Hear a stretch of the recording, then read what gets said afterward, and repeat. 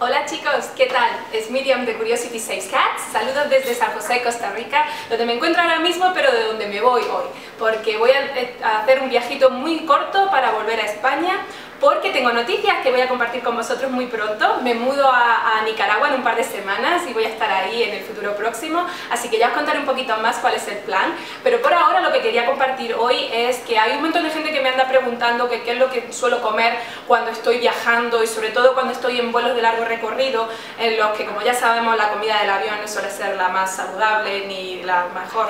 Así que he pensado que aunque estoy así corriendo preparando todo, que iba a compartir un poquito lo que me llevo hoy para daros una idea de qué es lo que hago yo para mantenerme saludable cuando estoy cruzando el Atlántico, ¿no? Así que lo primero que hice fue preparar una súper gran ensalada, tengo la mitad ahí que me la voy a comer justo antes de salir, prefiero repetir antes que no comer cosas buenas, ¿no?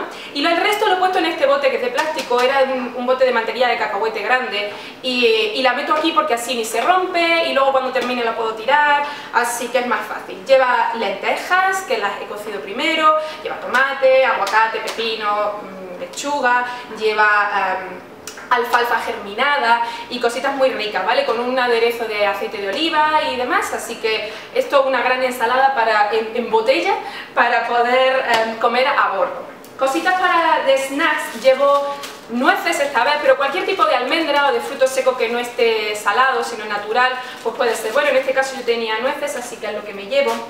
Me llevo palitos de zanahoria que me entretienen mucho, me gusta más cuando los puedo mojar en hummus, pero bueno, como no tengo hummus hoy me llevo los palitos de zanahoria y ya está, y me lo imagino.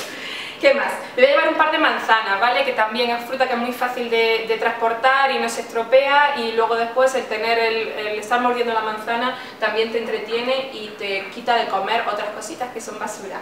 Y por último, tengo para, porque ya sabéis que a mí el dulce me gusta y las cositas, así que tenía un trozo que me quedaba de, un pan de, plátano que preparé hace un par de días, que tiene un montón de semillitas y demás y salió bastante rico, así que me llevo un trocito de esto para, para cuando me entre el bajoncillo y me haga falta algo con, con algo de azúcar, pues por lo menos es algo saludable.